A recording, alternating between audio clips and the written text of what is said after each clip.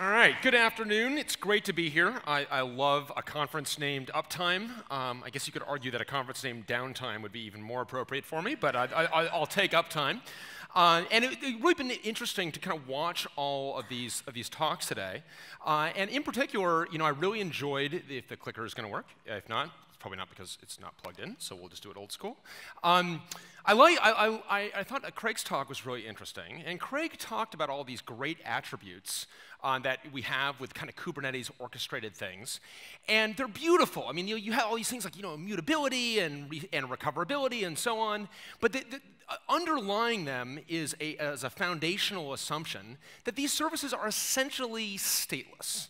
And we love statelessness. I love statelessness. Don't catch me being pejorative about statelessness because I love it. It's like the ability to model a program as our problem as a finite state machine. If you have the ability to do that, you should seize it because you can make code that's totally correct.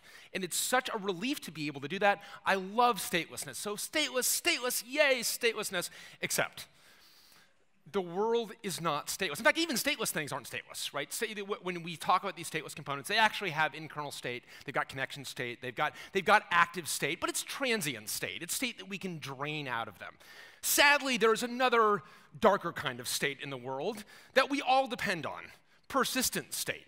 The stuff that's actually going to sit on a disk somewhere, on non volatile storage somewhere. And we've done actually, I think, a very good job of separating our concerns and making sure that those of us who are working on stateful services don't get to come to conferences where we get to talk about statelessness.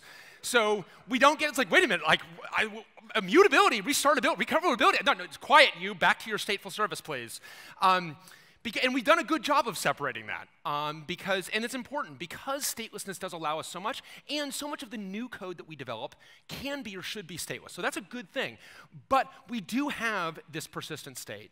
Um, this data path does exist, uh, and the, the data path is a dark and terrible place. So, for, just for purposes of my definition, the data path consists of the software, the hardware, and the firmware that connects that stateful service, that stateful service endpoint, all the way down to the actual non volatility that stores that state. There's some non volatile physical medium, which for right now is flash or magnetic media.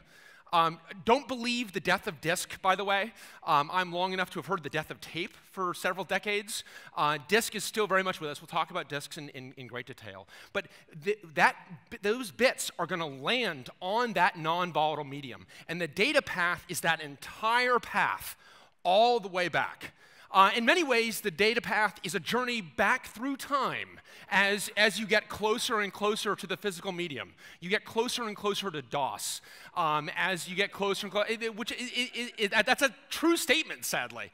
Um, so, and these systems that actually deliver that actually deliver this data path to us are themselves very complicated. These are complicated distributed systems built on top of these non-volatile media. We have these big, complicated distributed systems, and we need this data path to work. Uh, and we actually have great demands on the data path. And in order to be able to have this beautiful statelessness that you all enjoy, the stateful path, the persistent path, has to work all of the time um, it's really not okay for that path to be down at all. We demand perfection of that. And on, on the one hand, having to deliver that perfection can feel really difficult um, because it feels like the demands are so acute. On the other hand, if, if we can't actually rely on that persistence, it becomes really hard to build infrastructure elsewhere. So we really need this to work all of the time. So we demand that it is consistent, that it is available, and it is partition tolerant. That is what we demand of that stateful layer. Sadly, we know from Brewer's theorem that we can't actually have all of those things. And, you know, I knew for a fact that I would not be the first talk to mention CAP theorem, but it, Bridget uh, it hit us off the, the, this morning talking about CAP theorem. And, and, Bridget pointed out what Caitie McCaffrey and others have also observed that, all right, consistency, availability, or partition tolerance, pick two. You're like, I know, I know, I know. I want consistency and availability. It's like, no, no, no, put your hand down. You have to pick partition tolerance. It's like, but I do not want partition tolerance. I'm like, I know you don't want it. You have to take it, actually. So you, it's actually a choice between consistency and availability. They say, but I don't have partitions. It's like, no, no, you're having one right now. Um, so um, it, it is actually important that we don't actually get to not pick partition tolerance. We have to pick partition tolerance. And then the question is, now we're going to make trade-offs. Now, it can be easy to be like, okay, cap theorem, original sin, okay, screw it, like let's all just get stoned because like life is meaningless and we can't actually do anything. And there's there's actually a I, I really want to watch by the way. That this watching this later is going to be such a treat for me. Um, so um, but the, the uh, we shouldn't actually use cap theorem as an excuse to give up on humanity because and actually there's a very interesting paper that came out of google later explaining that like well okay it is true that like you can only pick you, you have to pick two of these you have to partition tolerance but it's also true that if you engineer the system very carefully you actually can engineer partitions away. Like, ah, I knew it, I knew it, I knew it. I pick consistency of availability. It's like, no, no, easy, easy, easy. Because it's actually exceedingly difficult to engineer partitions away. It's exceedingly difficult. It takes a very long period of time. And that's what we're going to talk about in this talk. We're going to talk about the difference between a system that is that theoretically has made cap trade-offs and one that is actually resilient in which we have done the best we possibly can uh, to actually engineer these things away. The difference between those two systems, by the way, are the zebras. What are the zebras? So zebras, and if you are, I, am the son of a physician, which is going to become relevant in just a second, um, but if you are a med school dropout, or if you're a physician yourself, um, or if, if, you just like following medicine, you may have heard the term a zebra. A zebra is a, it, it's medical slang, um, and it denotes a, a condition that is rare and exotic, but can be confused with something much more common. So med students and residents are very prone to want to diagnose the most exotic thing you could possibly have. It's like, oh, you're sick after the conference? Cerebral malaria. It must be that. It's like, well, okay, maybe not. Um, but it may be, I, am running a fever. There could be other symptoms that you would share with cerebral malaria. But let's not jump to cerebral malaria. And this aphorism, which was coined by a physician in Maryland uh, in, in the 40s, when you hear hoofbeats, think of horses, not zebras. Okay, so, and this is for, for a hospital, this makes sense. For a hospital where when, when you solve an ailment, it doesn't prevent someone else from having that same ailment, sadly. It's not software. You can't actually just like push a fix for cerebral malaria. Uh, so it actually makes sense to be constantly aware of what is common, what is likely. I don't want to go to the most unlikely thing. That said, and the, the, the soft underbelly of medicine is that zebras do exist. And if you have had one of these yourself, you know the suffering involved when you actually do have one of these rare exotic conditions. When you do have cerebral malaria. By the way, if you ever go to a malarial region, come back to the United States and you're ill six months later, be sure to volunteer to your physician that you've been in a malarial region. That's a very important data point because you will suffer in, for a long time potentially cerebral malaria. And I had one of these that was close to home. So as I mentioned, my father was a physician, emergency medical physician. I used to think growing up that being a physician was the easiest job on earth because you just just look very thoughtfully at this injured child and then say, You'll be fine. and then, if it's really serious, I mean, if you're obviously bleeding all over everywhere, and this is clearly a medical emergency, and you really have to dig much deeper, you simply say, We'll keep an eye on it. So, that to me was being a physician. I'm like, this is a pretty easy gig. Like, you know, um, you'll be fine, and let's keep an eye on it. And actually, I had a friend in college, uh, and she the, she had an ailment. She's like, hey, let's call your dad, and would you mind calling him and ask him what's going on? I'm like, oh, you can call my dad, but I'll just like save you the time, and you'll be fine. Uh, that's easy. So, you know, I actually want like a real medical opinion. I'm like, all right, then we'll keep an eye on it. There you go. We're done, okay? You don't need a more medical opinion than that. But then she actually prevailed on me to call my father, and I, I, my father spoke with her for a while, and then handed the phone back to me, and he, my dad says to me something I had never heard before since, yeah, Bryan, she's got to be seen. Like, oh my God, you're gonna die. Like, that's the morgue that you go to, as far as I'm concerned. So, um, eh, but so why did my father say that? Because she was suffering from abdominal pain. And if just for life lesson, uh, this may be the most important thing you take out of this talk. Abdominal pain is actually something that you don't want to screw around with. If you're suffering from abdominal pain, there could be a lot that is wrong with you, and you should actually call an advice nurse, present yourself to a physician, because uh, unlike kind of the scrapes and bruises that, that a child has, abdominal pain can be very serious. And my sister had very acute abdominal pain. My sister was on her way to Ghana with her boyfriend, now husband, and they were uh, had a layover in London, and she had such excruciating belly pain that she could not get on the flight. She, they, they went to the hospital, uh, determined that she had appendicitis, um, and they gave her an appendectomy. They gave her a laparoscopic appendectomy in the UK. Uh, totally changed her position on socialized medicine, by the way, which is a very interesting kind of thing. Um, but she had a laparoscopic appendectomy. Uh, they also discovered, by the way, that uh, as an aside on the side, um, that she has what's called a pseudocholinesterase deficiency. And I know that she, we've already talked about pseudocholinesterase, so she's going to crush it. Boom! So my, my sister has, and, and now you can actually go Google it. I think I'm on Spaceballs. Um, so my sister had a pseudocholinesterase deficiency, which means that she could not metabolize the anesthesia that she had. When they extubated her, she stopped breathing. And um, because um, there was different standards of care where she was, um, they didn't notice until she got blue in the face. Um, I encourage you to do what I do. We'll go back to that in a second. I encourage you to do what I do. Yeah, exactly, a little preview. Um, I encourage you to do what I do, and I know she won't mind. Claim my sister as your own sister the next time you're having surgery and say, you know, it's funny, I've got a sister. I don't have any allergies to medicine that I'm aware of, but I do have a sister with a pseudocholinesterase deficiency. And all of a sudden, watch your anesthesiologist wake up. They're like, what, wait, what? What did you just say? I, Oh, hold on. Okay. Oh, I, like, I got to get the red bracelet out. So they get the red bracelet out. You get the red bracelet on you. The red bracelet's like, hey, everybody, time to wake up so you don't kill me. Which, of course, everybody should have when they go into surgery, but you only get one of these if you have a sister with a pseudocholinesterase deficiency, so adopt her as your own. so, my, so my sister is, we're done. Laparoscopic appendectomy, we're, we're done. She's in a wedding in California, and she has the same acute abdominal pain. Um, this time, much worse. She goes to the hospital again. They CT her. They still have got no idea what's going on. Uh, in fact, they believe that they've found something in her abdomen, and they're wondering if she has any kind of like strange, like, if she's into anything weird. My sister's not into anything weird, so she's just like, what are you even talking about? Um, and they, they didn't actually know what was going on. And my father at this point had lost his patience and said another thing that I never heard him say, but uh, is definitely exciting when your father's a physician he said, You need to give her an exploratory laparotomy, or I'm going to give her an exploratory laparotomy. And now I had my father give me stitches on the kitchen table, but never an exploratory laparotomy. Like, that was going to be cool. And I'm like, Come on, Dad, give her the exploratory laparotomy. Um, but they did it. They cut her open, and what did they find? They, um, what they found is emphatically a zebra. Um, they found this. Um, so um, this is a, was a piece of my sister's gut um, from the time that she was actually conceived. Um, this is something called a Meckel's diverticulum.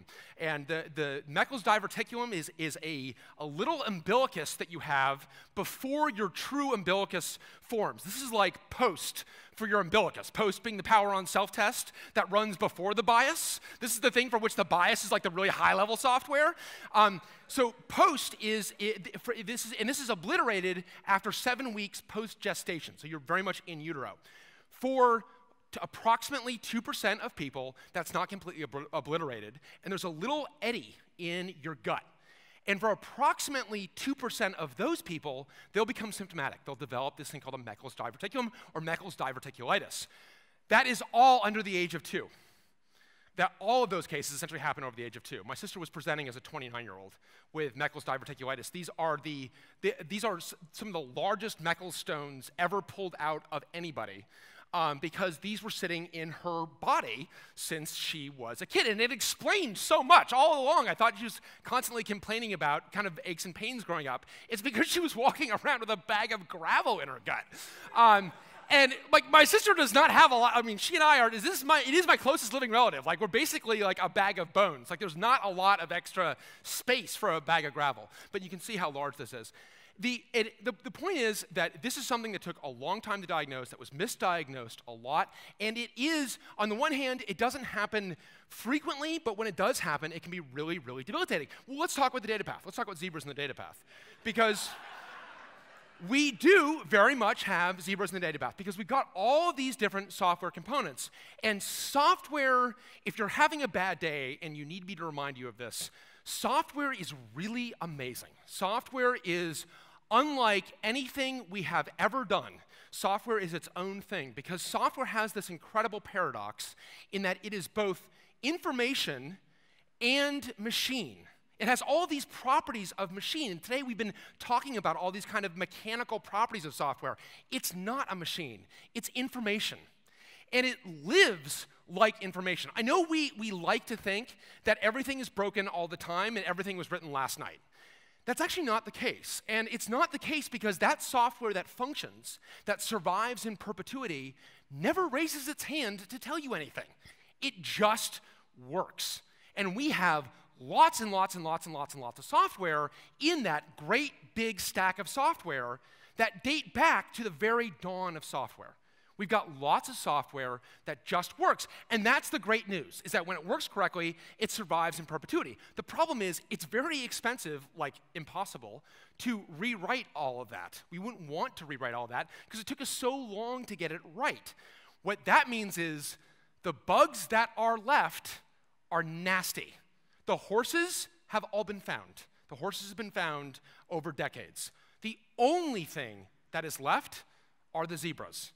And we, when good news is when we find a zebra, we can eradicate that zebra. The bad news is it's only zebras that are left. So, to, um, in terms of like how do we actually go hunt zebra? Let's go zebra hunting. And I don't mind like picking on zebras by the way too much. You know, like oh I love zebras. Like you don't actually love zebras. Zebras have got a really foul temper. So I, I actually don't mind picking on the zebra. I'd be happy. You know, I'm not going to actually go hunting a zebra, but I'm happy to metaphorically hunt zebra. Um, so, in particular, when we're hunting these things, we, we should not ever assume that a problem is reproducible. If we can reproduce a problem out of production, great. That should never be our going in assumption. Our going in assumption should always be that we need to debug it in situ in production. We can't ask, well, let's go reproduce it somewhere else. Like, no, we're not going to go try to reproduce it somewhere else because this is an extremely strange thing, pathology that's going on. You're not going to recreate my sister's condition in anybody else Be, because it only it is so unusual. So many of these conditions are very, very, very unusual. And when we have one of these unusual con conditions, we can be, especially, and I put bias for action in quotes here um, because I am um, I, am making a reference to Amazon's principles, which troll me into a stupor. Um, one of Amazon's leadership principles um, include bias for action. And okay, I'm okay with bias. Like, tell me more. When we are overly biased for action, we can be biased for rash action. Um, and it's easy to be biased for, for, for panic. It's easy to be, to be biased for haste. And we don't want to take the rash action. In, in particular, restarting a component, killing a component, is the wrong first motion for something that's misbehaving in production. I, we, you know, I, I, I really enjoyed Jason's presentation where he had the, that full kind of story, but I did wince a little bit when we don't actually know what Greg did. To this Greg, Greg took the process out back and did something to it terrible, and now the service is fine. It's like, yes, but what happened to that pid? Like, we don't talk about that process anymore. Like that process, it's like, okay. Uh, it just like disappeared. Um, and because you want to actually understand, and I'm going to assume, because actually Jason didn't fill in that gap, so I'm going to assume that Greg saw that the process was behaving pathologically and took all of the necessary information that he would need to later debug it and then restarted it, of course. I mean, that, that, I'm, I'm going to assume the best of Greg. Um, but it, when we actually have a service, it is the wrong bias to immediately restart it. The first bias is not, shouldn't be to change the question, uh, change the system, but to observe it. Ask questions. Because, and I thought, again, I really enjoyed Jason's full timeline because you appreciate what a tiny fraction of that is actually on system. And I think this is true for many outages where you got all of this, this work beforehand actually getting the right person on the keyboard. You don't need to save yourself 20 seconds right now. If you can get enough information to figure out what's going on so we fix the problem, please do so. So your first bias shouldn't be to change the system, but to observe it. And by the way, don't go to a hypothesis first. Ask a question first. Debugging is the process of asking questions and getting answers, not necessarily formulating hypotheses.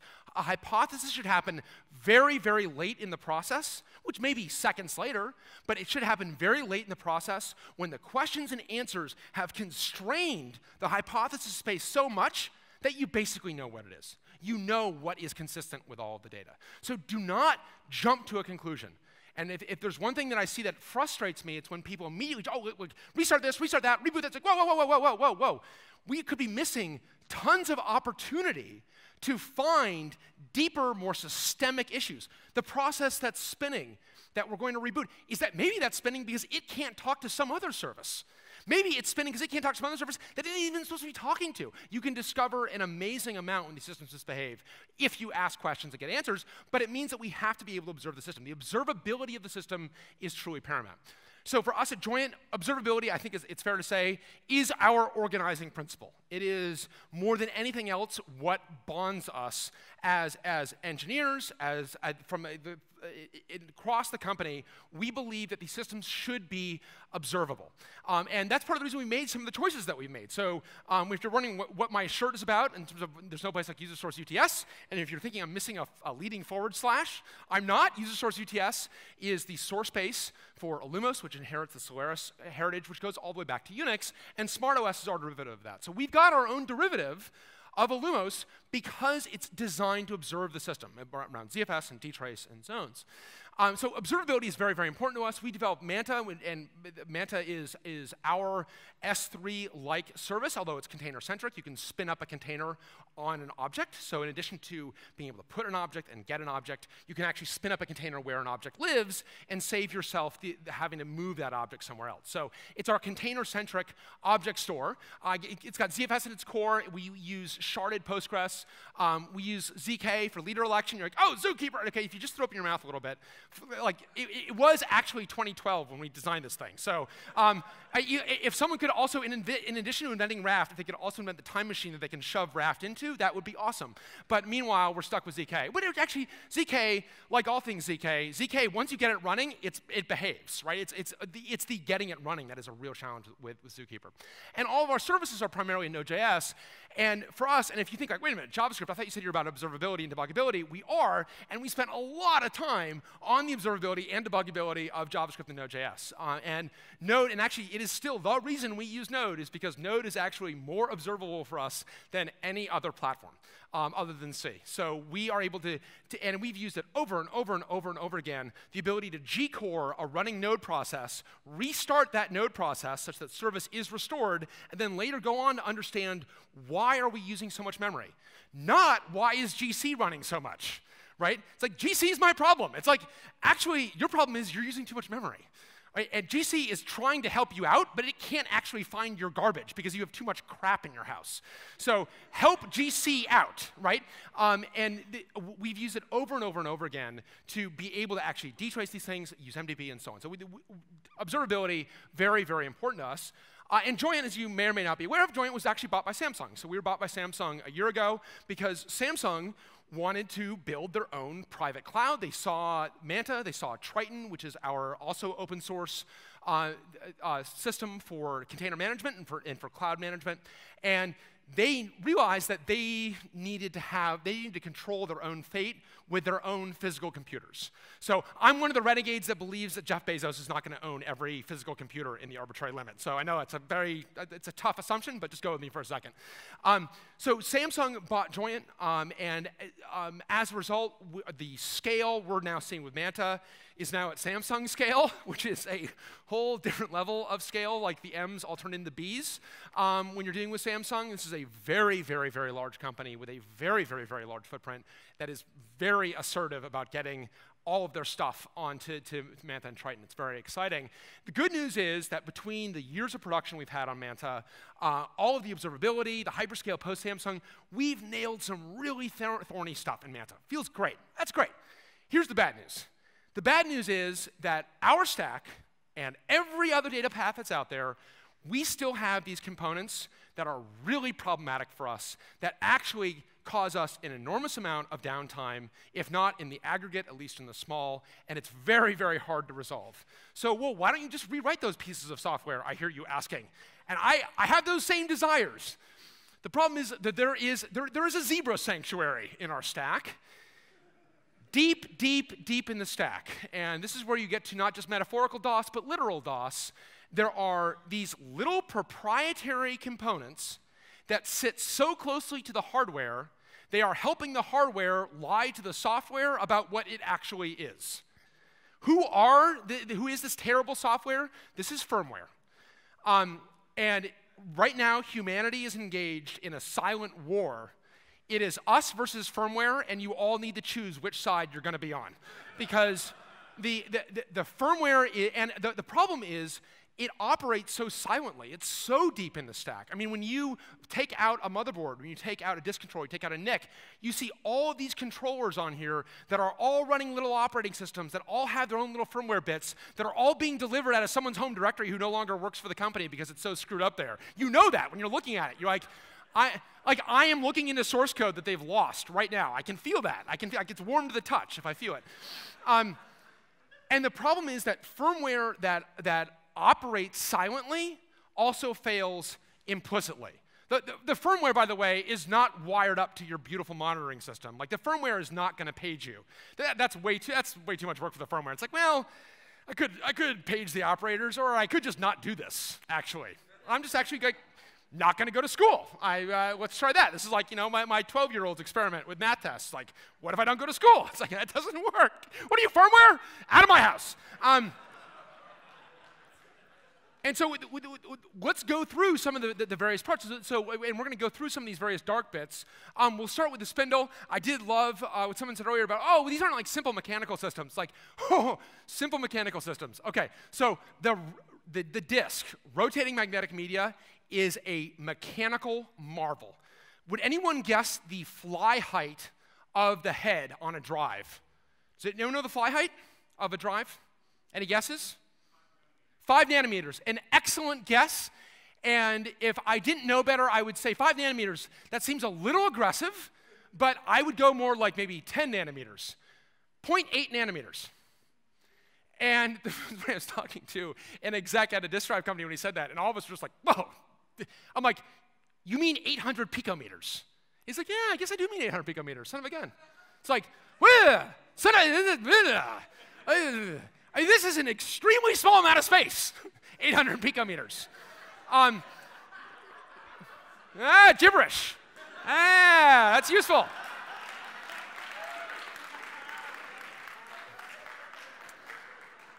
You, you know, my kids are going to find this incredibly useful when they see this. Um, so these things are so low, you can imagine, honestly, if the head hits a particle of smoke, it can crash. That can crash the head. That is how, uh, how fine they are, how finely machined they are. It is incredible. Any particulates in there, magnetic aspersion, certainly wear, certainly, certainly, certainly vibe, um, certainly temp, um, all of these things actually will fail. The disk will fail, this, uh, this amazing mechanical marvel. Um, but the disk actually knows this, amazingly enough. The disk is actually aware of the fact that it, that it is cheating physics all the time.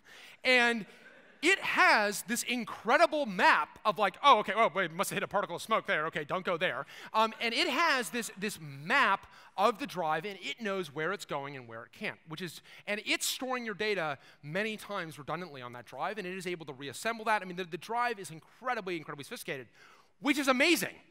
But that's also a lot of software, and it leaves some much nastier failure modes. Uh, namely, you've got software-based failure modes. So disks absolutely can read and write the wrong data. And you're like, how is it that you can have a fly height of 0.8 nanometers, and yet you're giving me the wrong block address? It's like, well, eh, that's, that's hardware versus software. I don't know. What do you want me to tell you? Um, but a disk absolutely can return the wrong data. It can write the wrong data. And we saw this reality coming in the early 2000s. And ZFS is very much designed around this full path data integrity such that ZFS knows what it wrote where, and it can verify that when it's pulled off of the spindle. Um, I don't know why anybody at this point, especially given that it's open source, would rely on anything other than ZFS to, to store their data, but it's your data.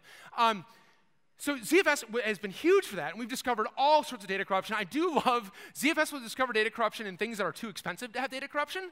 You're like, you realize that doesn't follow. And like, it doesn't actually doesn't actually matter how much you paid for this. It's like, no, but I paid way too much money for this SAN to have data corruption. It's like, well, it has data corruption.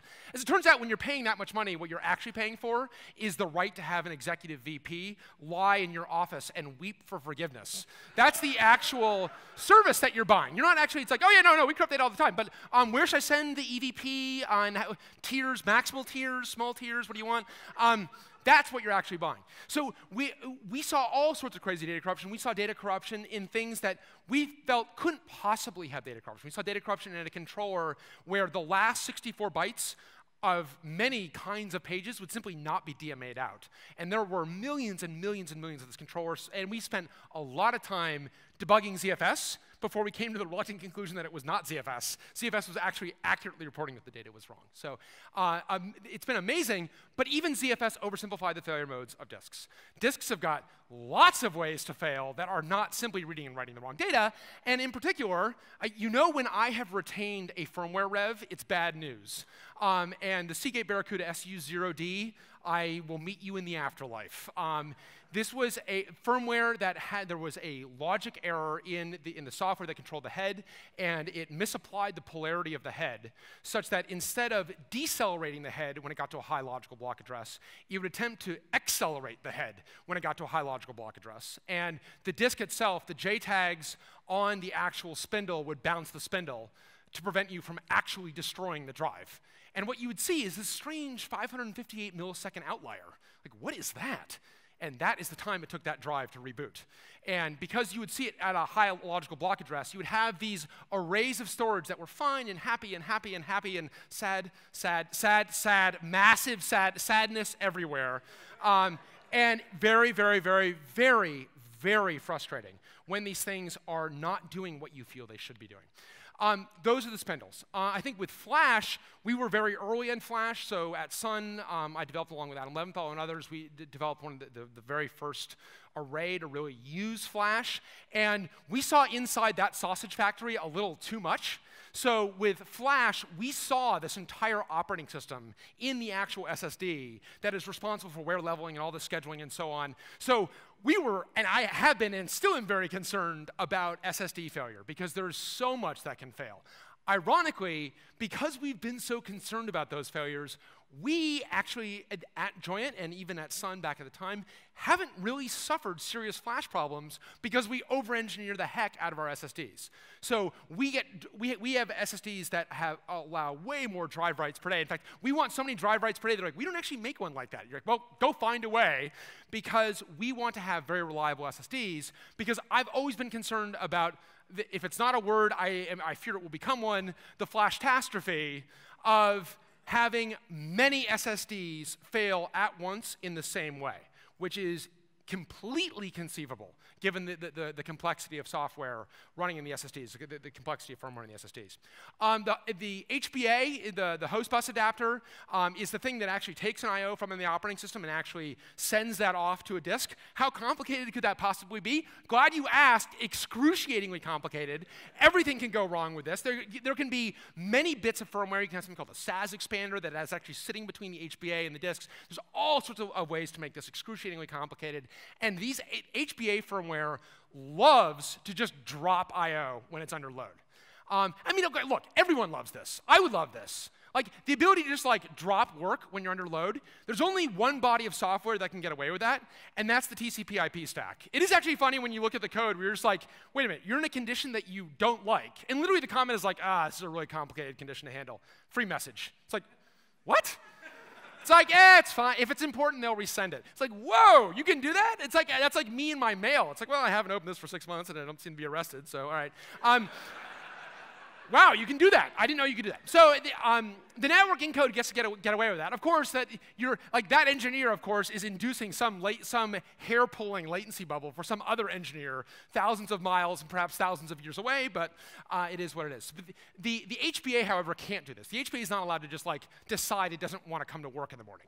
Um, it actually needs to do I/O. And so what you, you will see is these systems that are are running along, barreling along, and all of a sudden they'll grind to a halt because one I/O went MIA. And you say, wait a minute, how can one I.O. possibly cause the entire system to dogpile behind it? Glad you asked. Um, because in a complicated system, it's really easy to have these implicit interdependencies where that one I.O., that's the Uber block that ZFS needs to write out. Like, we need that I.O. to complete or not complete. We don't care which. Like, either come to work or don't come to work, but you need to tell me either way, right? So you can't actually just, like, go missing. Um, and these latency outliers, um, and you know, after ZFS will retry it, the I/O stack will retry it, so you'll just see a latency outlier. We actually saw one of these recently where it was so far up the stack, we were trying to figure out why we're getting all these RSTs.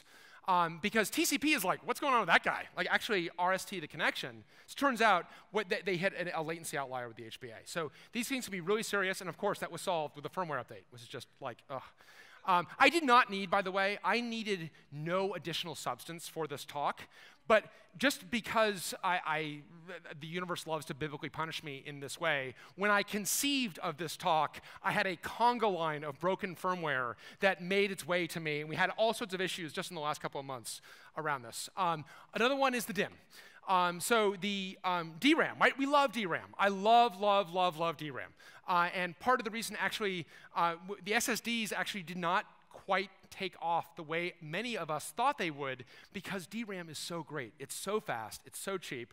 I love DRAM instill it until it fails. And DRAM can fail for a bunch of, of reasons that have to do with the hardware. Um, you can have corrosion, you can have humidity, you can have a bunch of environmental factors. But one of the challenges we have with DRAM is that as the speeds have increased and the voltages have dropped, we are seeing more transient errors on DRAM. We are seeing more signal integrity issues. We are seeing more issues where the box simply resets with an uncorrectable error. And one thing that is very maddening is that you have these boxes that see an uncorrectable error and never saw a correctable error. It's like, how did we possibly, just physically, if we're going to have one of these issues, physically, you expect to see correctables before the uncorrectable. What happened to the correctable error? Oh, we sent that to the firmware with, and I'm not making this up, and they actually capitalized it this way the firmware first model. It's like, is Donald Trump actually in my firmware right now? It's like, I, this is like firmware first. I got like the firmware marching through my machine. It's like, no firmware first. No, I'm sorry. No, no, no. And I will be unequivocal about this. There, was not, there were not errors on both sides in this case. I, I, I, I want to be unequivocal. Firmware first is the wrong model for error handling. And so honestly, not a joke. So there's something called the CMCI, which is the, is the correctable memory check interrupt, which allows the operating system to know that a bunch of correctables are going on. And I'm talking to the vendor like, yeah, we don't do that. Um, we've changed the BIOS and we've added a feature called cloaking. I'm like, called, you're confessing a crime to me right now, basically. Like, you want to, you should call your lawyer. It's like, where do I turn off cloaking? It's like, no, no, you can't turn off cloaking. It's like, where did you tell me about cloaking? We don't tell you about cloaking. It's like, okay, this is actually illegal. Um, and, the, and what actually happens is, so why can you not give me an interrupt when you see a correctable error? Oh, because we would give you too many interrupts. So you give me too many interrupts. Okay. How many errors do we see on DRAM? They're like, oh, all the time, all the time, all the time. I, have ha- on, on some of these calls, I have half expected these guys are like, can I, can I work with you, please? Can you get me out of here because nothing works over here? Um, it is actually terrifying, the, the rates of failure that, that we are seeing. And I believe we are seeing right now a silent epidemic of DIMM failure. And so the next time your EC2 instance just kind of mysteriously disappears and come back, you can wonder if it wasn't firmware first uh, and your app last uh, in terms uh, of what actually happened. Uh, in terms of the chassis, you would think, okay, like the chassis surely has to be immune from software. And I'm like, well, I'm glad you think that. It's very cute that you think that. Um, Unfortunately, the chassis is also managed by a bunch of software. Um, there's a system controller on the chassis. That system controller is often responsible for managing the fans. Um, and if those fans are mismanaged, they can actually do damage to the box. Um, one of the amusing errors we had in years past was that the system controller itself ran out of memory, it ran out of its own memory, such that if you told it to reset itself, it would tell you that it doesn't know who it is. And it's like, I do not know what you're talking about. I'm talking about you. Like, right, you're right here. Sorry, never mind. Uh, and when that happened, the fans would run full speed, and when that happened, the spindles started getting all sorts of latency. It, uh, uh, we had boot spindles on there that had all sorts of latency issues. So vibe can be serious, and you're, you're going to wear those things out. So you can actually have zebras in the chassis as well. You can have zebras in the NIC. Um, there's a ton of firmware on the network interface card. There are, there are optics that connect that, that network interface card to the top of rack switch. All of those things can fail, and they actually do. And it becomes very tempting to say, like, okay, the optics are going to fail. Let's use link aggregation. Let's actually have two links together and use them one. Like, okay, that sounds great. It feels great. It's like now we're going to be redundant, except we're also a lot more complicated. And hopefully, one of the themes that you take away from this is that the world is actually very, very complicated, too complicated as it is right now. And we need to be very mindful about making it more complicated in the name of availability, because that complexity will cut against the very availability that we're trying to deliver. And in the case of LACP, you've got something else called MLAG. MLAG is the thing where the, the actual two switches need to talk to one another to make sense of these two links that are talking to it. And that is like the last code path to be verified by switch vendors. We have found so many switch bugs MLAG. So very, very frustrating there, which leads us to the top of rack switch. The top of rack switch can do, the top of rack switch may actually be the firmware in the top of rack switch. If you actually want to, uh, you as firmware, wish to, to, uh, to have a blow against humanity, the place to start is the firmware in the top of rack switch because the, the blast radius of a firmware mistake in the top of rack switch is enormous. So we, we had a, um, actually was very helpful for us um, when we were doing a POC, uh, uh, the due diligence before Samsung actually bought Joyent, and they had a bunch of hardware they wanted us to run on. Hardware that they had found in a dumpster, I'm, I'm quite certain, which was actually very useful because we saw all sorts of new failure modes in the software. This thing just like could not hold on to ARP tables to save its mind. And so it would constantly just chuck all of its ARP tables, and the entire system would go split brain as everyone tries to figure out what's going on, and all this Substack software gets, gets very confused. We had another switch, not that one, we had, we had another switch, which liked to DDoS the system as kind of like a hobby, like when it wasn't actually routing traffic. Um, and in particular, you could send it a single malformed packet, and it would begin to broadcast that malformed packet to everybody in perpetuity. It's like, thank you very much. Um, and that actually, that bug was so bad, the vendor actually apologized, something that very rarely happens. Um, and it is, it's zebras all the way up, right? We're, talking at the kind of the, the, the, very lowest bits of the stack. But these things have manifestations way, way up the stack. And of course, software gets it wrong all the time. It's, it's not necessarily software versus firmware. Remember, it's firmware versus humanity, not software versus firmware. The software gets it wrong too, but the software that we can see, that's open source, we can actually do something with. I mean, the, honestly, the, the person that may have most single handedly advanced the quality of the software that we rely on in the data path may well be Kyle Kingsbury with Jepsen. So Jepsen is a, is, is a software suite that takes these distributed systems and sees, it just checks out to see if it does what the distributed system claims that it does. And very frequently, it doesn't. They're not linearizable. They're not serializable. They, they get data out of order. They have all sorts of pathologies. And the, unfortunately, it's gotten a little bit boring now because everybody knows to do their Jepsen run before they announce that they've solved all problems. It used to be a couple years ago that people would announce that they've solved all problems, and then you do the Jepsen run, which is a lot more exciting um, because you discover all sorts of pathologies. But we can do that when we're upstack. We can do that when you can do that on RethinkDB. RethinkDB, by the way, not dead. I just want to say that. We, I, I, had the CNCF and the Linux Foundation bought the source code for RethinkDB, very much alive. But you can do that for RethinkDB. You can do that for these databases and, and have some assurance. There is no, there is no Jepsen for firmware. Firmware like is its own Jepsen, I guess. I don't even know. It's like it is its own chaos monkey. But um, that's part of the challenge we have. And I think one of the things that I see is that these components are actually becoming less reliable. That I, something that I am very concerned about is that these components that we build on are getting less reliable over time. And the fact that we have software that can deal with unreliable hardware is not an excuse for unreliable hardware. And by the way, this is what the, the hyperscale folks have figured this out. You know, Google loves to have the kind of, it is a beautiful myth. I mean, it's a fact, but it's also a myth about the, the motherboards that are just shoved in with Velcro, right? And you know, you walk into Google and you see, and this is like you know the very first deployments of Google. They just bought the cheapest motherboards they could find. They would do anything to save a nickel, and they just had Velcro on the side of the motherboards and just shoved it into a rack, just motherboards. And it feels great, but it's a terrible idea because you can't actually build reliable infrastructure on that kind of quicksand. You actually need to have much more, um, a much more stable foundation. So this is not, our reliable software should not be an excuse for unreliable components. Uh, and then a little Blue Oyster Cult reference. Um, I would encourage people to not fear the zebra. Um, the, on the one hand, the data path should not be undertaken lightly. Um, one thing that I do find a little frustrating is when people endeavor to, to walk the trail of the data path without realizing that you're not going backpacking, you're going into a war zone. And if you don't have your Kalashnikov packed, you don't appreciate the severity of the situation. So the, the, when we are going into the data path, uh, we should not be deploying brand new software to the data path. Uh, and by the way, that software should, uh, when that software is early on in its life, it should never be giving you the wrong data. It, should, it will have other failure modes. I think, you know, I saw ZFS, my data was some of the very first data that was on ZFS. ZFS didn't give you the wrong data. The difference between ZFS in 2003 and, the, and ZFS in 2017 is the ability to deal with those much more pathological device issues where devices simply go away. So the, these things should always give you the right data when, when, they, when they start off, and you, should not undertake it lightly. We need to enshrine observability. That's been, it's been great to hear. That's a theme that we've had, I've had for a long time. Great to hear so many others um, having that same theme. We need to reward complete understanding, not merely resolution. I made the problem go away. Great, what was the problem? Did we, let's make sure that we're asking the questions that we pulled at all the open threads.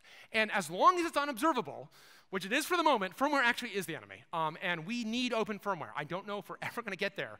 Um, I, that's like, to me, that will be the post-singularity rapture, will be open source firmware. Um, you know, for some people, it's, you know, it's Bitcoin and everything else. For me, it will, be, it will be open source firmware. And as long as we are open source, we actually do have a quality ratchet. We can make this thing better all the time.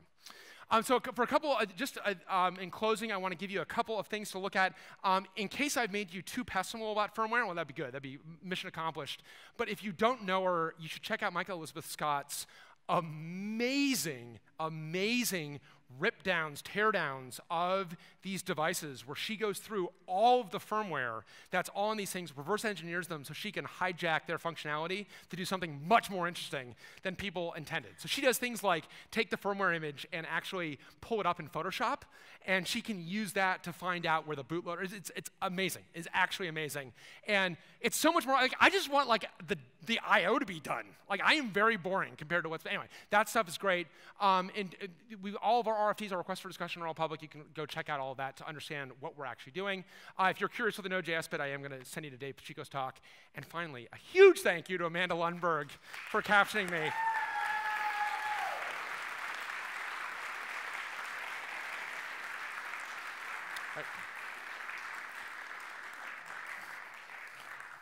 Great, thank you very much.